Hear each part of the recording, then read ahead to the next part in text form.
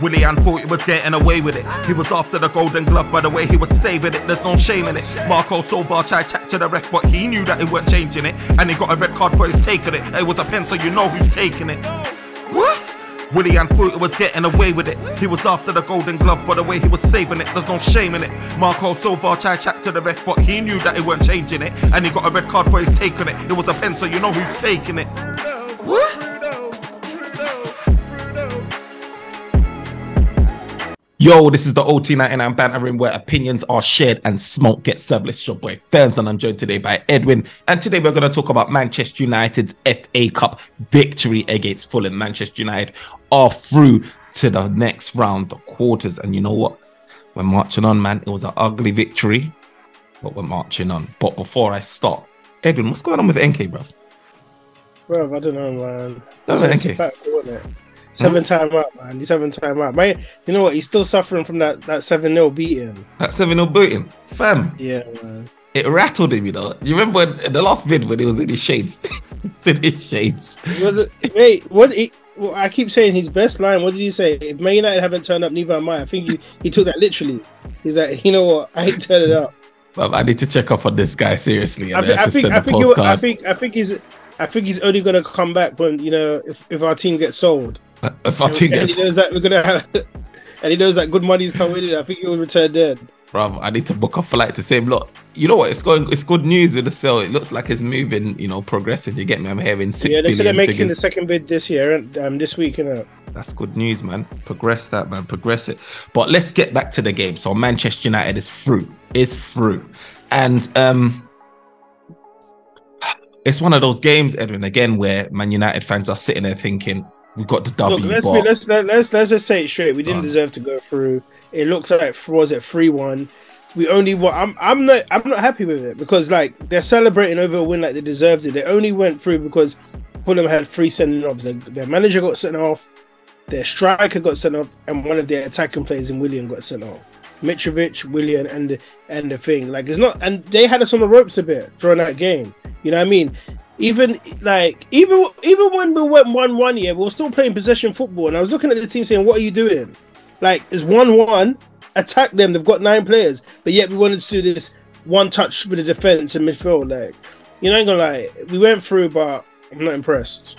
But don't you think then? Because to play the other side, so in my in my take of it, I'm looking at it like this. Look, is it that one? What you know, we've lost a few key injured guys. You know, like Eriksen, who's very res- he's like he's key in terms of ball possession, control, dictating, has that creativity. We've lost him. We're having to make shift guys and fit guys in. Sabitz has only been had about six odd games of that. We're trying to, you know, get him situated in the Premier League for the first time. All of these things are happening, right? Injuries, even though we haven't got a lot on paper, but it's just like that is significant for us because a lot of those guys would be first team players. Do you know what I mean? And we're having to try and, manage it. And plus, Man United is playing the most amount of games. At, we're in fighting at all fronts. Like I read a stat the other day, um, yesterday, sorry, about Manchester United playing 25 matches in the space of 88 days. And if you deep it, if you look at those stats, and if you look at the the, the win draw loss ratio, Manchester United's really done like in those 25 games, Man United's got a, a cup out of that, Carabao Cup. Do you know what I mean? It's not the biggest. It's not like to say it's a Champions League or Premier League. You get me? But we've the run that we've gone on. People would have assumed that it won't be as good as it is now. Do you know what I mean? Certain games that we've come through, obviously outside of that Liverpool hammering that we got, you would look back and think, Okay, "Ooh, okay. The question is, yeah, decent. are you no no? Are you happy with the win? What against Fulham? Yeah. Yeah, because it's a business end of this, bro. Do you know what it is? If you you can never ask me, am I happy with a win, and me say no, because it's the business end of the Look, season. who, who, who, who we got in the next round? Brighton away. Brighton away, and that's gonna be a hot, bro. I ain't gonna lie. If we I wouldn't be surprised if you look look if we the way we played, yeah, Brighton will beat us. Hundred, look, hundred percent. If we played like we did against Fulham, Brighton is moving to us. Brighton has been a team that's been been very tricky to play against. Them, Brentford as well, been playing really well. And for me, we can't perform like that against them. We can't. We can't.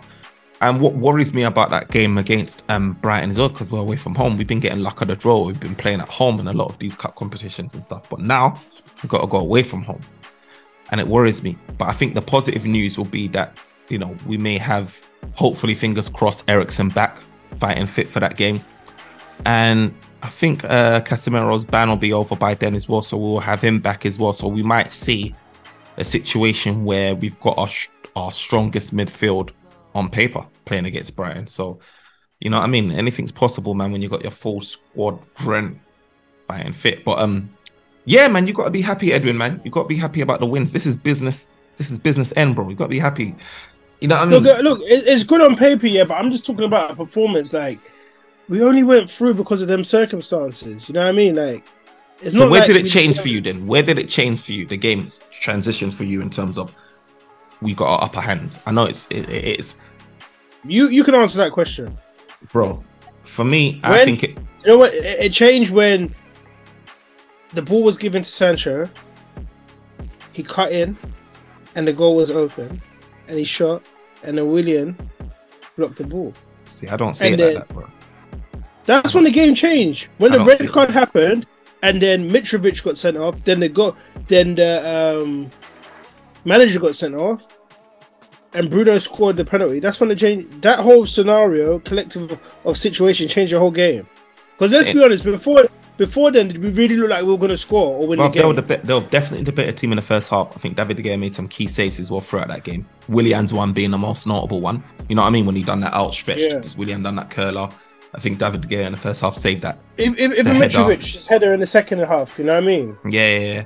And I, I do feel like uh, Fulham played the better game, but I feel like I've seen this pattern of play from Manchester United all season, and that is this that that, that element of where. So where it changed for me is where Erik Ten Hag in the second half made that that substitution where he brought on Antony And bringing on Antony yeah, him playing further out wide, hugging that line, being able to run at a defender, it caused a bit of trouble. Do you know what I mean? One time he got fouled when he tried to break away.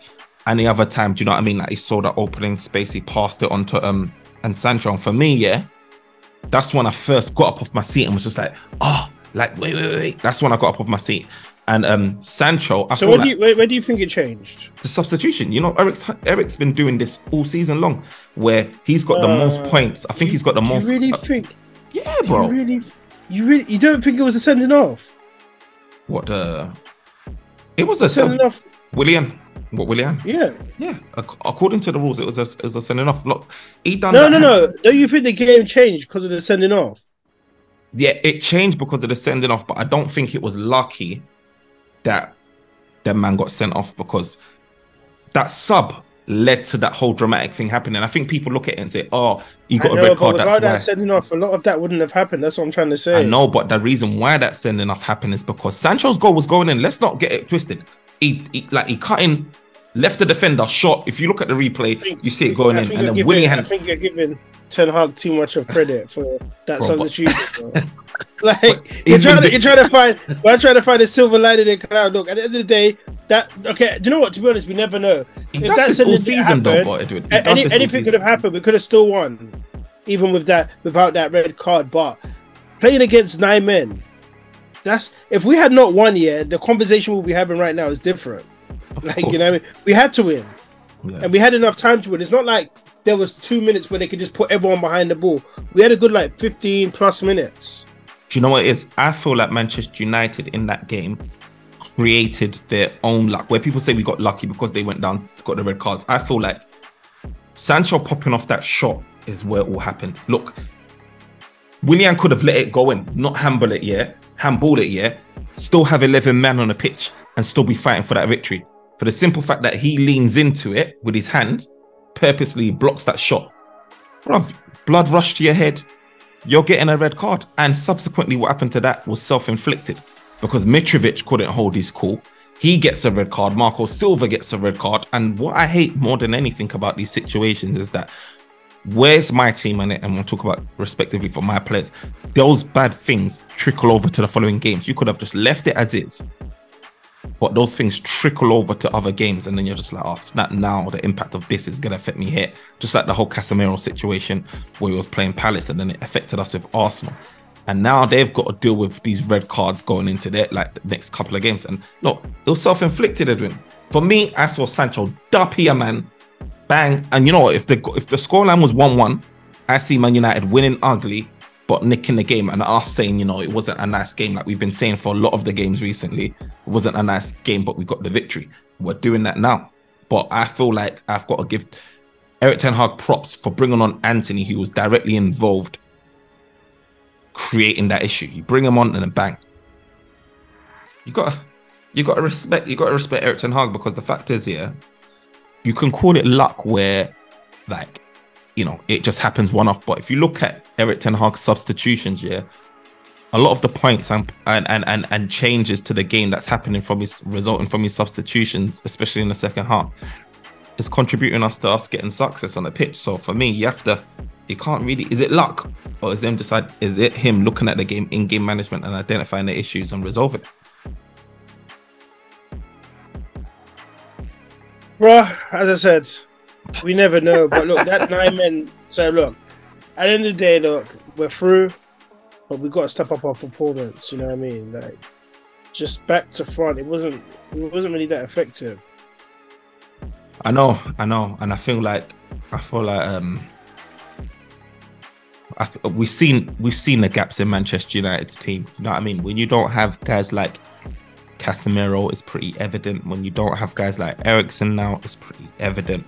And Manchester United, as much as we've got to sort out the striker forward position, because again, like with Weghorst, um, going forward and an attack sense, he wasn't offering much, but defensively, um, and getting stuck and involved in play. I see him doing one two link up play. He was doing all right. It's just going forward as a striker is not helping us much. So as much as we need a new forward, I feel like we definitely need to sort out the midfield situation.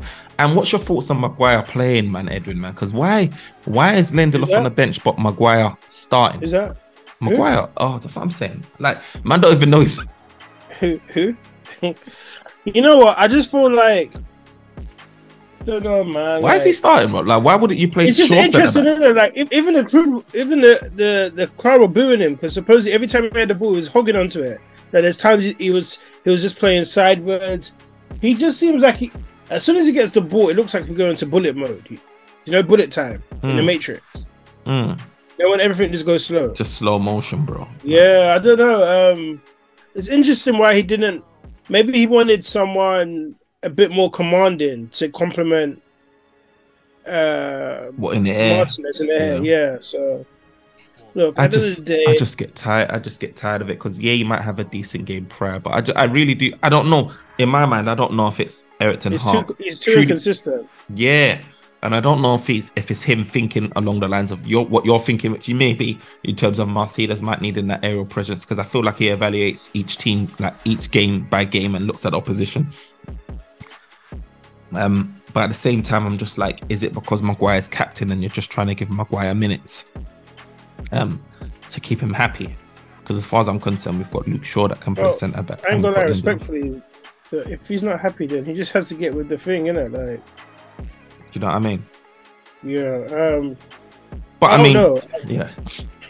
I don't know um, why Lindelof is on the bench. Maybe he's just seeing that them two don't work together quite well. You know what I mean? Mm, mm. Um, Do you know? It's it's a worry, man, because I've seen Martinez and Lindelof have decent games, and I just yeah, I just don't know why Maguire keeps getting a look in. I really don't. I know he's going to be. It's likely that he's going to be going in the summer, but I just don't know why he keeps getting a look in. Um, Maybe he's he knows some big games are coming, and he's just like, look, um, we can't have. Um, Maybe he's a bit worried about um, what's his name. Maybe he's worried about um. What Lindelof? Maybe he's just, huh? Maybe he's maybe yeah, like I said, maybe he's worried about Lindelof. No, no, no. Maybe he's just worried about Varane. Like you put Varane there, he might. You know what I mean? Yeah. It's true though. Where was um Varane? Because he wasn't he wasn't obviously he didn't play yesterday and he wasn't in the substitute. Maybe maybe like that's what I'm saying. Like if he's not 100, percent you're looking like okay, maybe we need to rest him. Um, yeah. it's not. I don't remember hearing anything about him. I don't remember hearing anything about no. um Varane You know, I missed it. If it was out, I missed it about him being injured or anything like that. So the que- and another thing is, uh,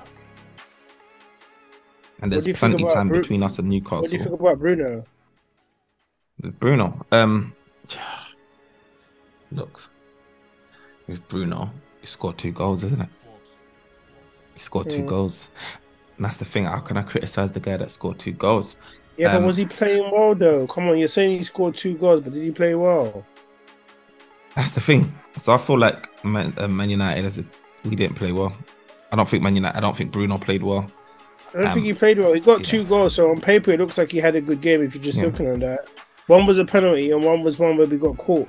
We caught them in a counter, and uh, Fred passed it to him, and he and he blasted it in. Like you know what I mean? Like I feel like Bruno was doing more of the whole, like he's a high risk taker, so he'll put in um risky, risky, risky crosses, risky passes, and then when it doesn't come off, do you know what I mean? It looks like it's a lot of ball wastage. Obviously, doesn't have the retention stuff, but it's always likely that Bruno will be that, on involved in a goal somewhere. It's just it's just typical Bruno. But the thing about it, when you're playing Bruno, um, it invites a lot of pressure to Manchester United's team. It invites a lot of pressure, and when you've got like um, no Casemiro or you've got no like DMs that are spatially aware of their surroundings or positionally aware um, to win back that ball or just intercept sort of balls that has been lost, then you're at huge risk. And I think Bruno Fernandes, as much as he's good going forward and helping our team, you know, get a goal or whatever like that or assist, he exposes us, man. He exposes us to them, them counter attacks. And um, mm, it's just it's going to be challenging to deal with. Obviously, I saw Scott McTominay trying to do his thing, playing, trying to fill in for Casemiro and Sabitzer, but they ain't Casemiro. Do you know what I mean? And there's a um, bit. There's a, the problem is now there's a big difference, and we had this problem. Did we have this problem last year where there's, there's a major difference between the first team and, the the, and person that starts and the person that backs them up? Like it's different if the levels drop so much. You know what I mean? big time. Do you know? It's big time. I mean, I was happy that Sabitzer got his, his goal, for example. Talk about the midfield, especially when he was took his allowed goal- to get he forward took a his goal more. really well. That was a really good goal. Yeah, he took it really well, man. That little back heel um, flick was a nice, nice touch. It was fire. He got his goal. Um, and I just feel with Sabitzer, I know he's aggressive uh, um, with it, but I just feel like he's more. Uh, it, it's looking like it when he, when he's allowed to go forward and express himself with a forward passing and stuff like that, getting forward, is more effective than he is sort of defensively. And I think with Manchester United, how I'm seeing them is we need that cover, adequate cover for when Casemiro's gone. Do you know what I mean? Because Fred can't do it. Scott McTominay is just like, you know, and Sabitz is looking like his best attributes are going forward rather than defensively. So those are things that we need to address in the summer, man. Um, but you know what? Like I said, Manchester United is through to the next round. Look, Man United, bro.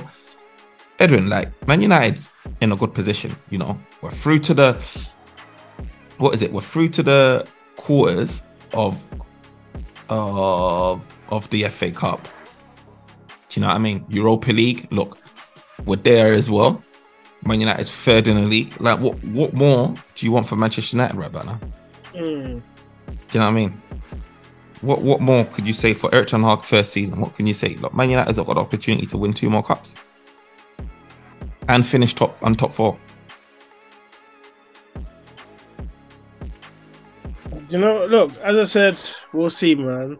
Look, could on on paper it, it shows that we're through to the next round. So Yeah, well done on them being there. But all I've got to say, we've got to step up the performance because um, it may have not gone that way, especially after that, after those sending offs. But look, maybe it was, it was just meant for us to go through because I was that was mad though. In that space of like four or five minutes, there was three sending offs. The manager and two players, and moment of madness. Moment of madness. Yeah. But I think that's it. We're in. Is it um? Uh, what do you call it? Uh, F, um, FA Cup semis and um, Europa League quarters. I think that's it. But do you know what? Um, the end of the day, I'd rather win ugly, lift up these trophies, than win. Um, you know, play pretty football and get knocked out. I mean, obviously you'll want to do the both, but the most important thing at this moment in time is us getting through to these. We just need it, and it, if anything, it shows that we're we're playing to the final whistle, and we're showing heart, we're showing determination more than anything. And Man United have been lacking that. Do you know what I mean? Where we will crumble, Man United is always showing fight back. So I'm happy about that. Um, if if anything, if there's anything to be positive about, you know, and I feel like the um, the good football, the style of football that we want will come, um, especially when we start getting the right personnel as well to come in and we start um, sort of making this team, the bench, and everyone look better. But who was your man of the match, Edwin? I don't even, I even know. How have you not got a man of the match, bro? Why are you mugging? Just say his name, bro. You Who? just say his name, bro. I say Bruno. Say his name. No. Well, we got two goals. So just because you got you got a penalty and you uh, a, a, a, chance that you should have buried. Bam, you got to score those. You have to score those. He could have skied it. You know, I've seen him. I've seen him miss open goals before. Who knows? I might even give it to Sancho, man. Sancho. Start sparked off what happened, and then he was instrumental in the the the ball to Shaw to pass for Sabitzer. But I don't know because like even though we won, our team didn't play well. So it's either him or Bruno. I'll give it to. Yeah. What about you? I mean, I gotta give it to. Um, I think to be fair, I think guys like um, Shaw was okay. So, you know, shout out to Wamby as well, Martinez as always. Um, and yeah, Sancho had a decent game. Antony had an impact. Starting out a couple guys, but I think the main guy. Look, I can't see a game like that where the team performed poorly, and then you see someone like Bruno come in and score two goals, a penalty, and then you know rocket of a shot, and not give it to him because, like I was saying earlier, like this is a game where it's it's about we're in the season right now where it's about outcomes, and I'll take that over anything right now. Do you know what I mean? To lift that trophy, so you know, I mean, I have to give it to him because he got us over the line. But shout out to, to Sancho for start and, and Antony for starting that that transition point. You know what I mean? Um, so yeah, look, Manchester United onwards and upwards. You get me? City, it could be smoke season in the final right there. You get me? It could be smoke season in the FA Cup. You hope. You, you know what I mean? Europa League, he knows who we're gonna get, but we have to get through past Sevilla, who we've never beaten before, by the way. Mm. Um, so it's gonna be a tough game. I can't even think about Juve or Sporting unless we get over that game. But I have faith in Erik that we will. But guys, thank you for joining us once again. Remember to like, comment, and subscribe, and share your thoughts on what you thought of the game. Do you feel like we didn't deserve to go through? Do you feel like we created our own luck and we deserve to go through? Do you feel like it was following that mm. pattern, you know, where we had one crap half, then a good half? I don't know. But all I know is we can't perform like that against Brighton because if we do, it's peak. It's peak for us. Early trip, early trip home. But um, yeah, like, share, subscribe. Let us know your thoughts. And until then, peace. Peace.